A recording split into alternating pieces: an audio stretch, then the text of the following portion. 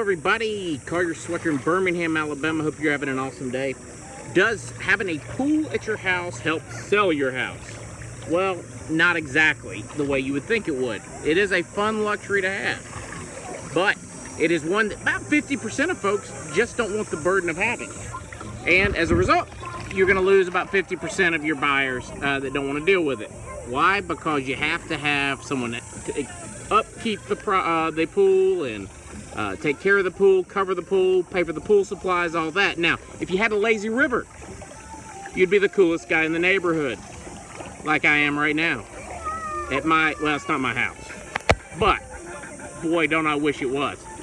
Anyway, if you're gonna put a pool in, make sure you love it, absolutely love it, and you're gonna enjoy it because you won't necessarily get dollar for dollar, probably 50 cents on the dollar. Hope you have an awesome day. Give us a call, 267-1520 or megaagents.com. Have an awesome day. Bye-bye.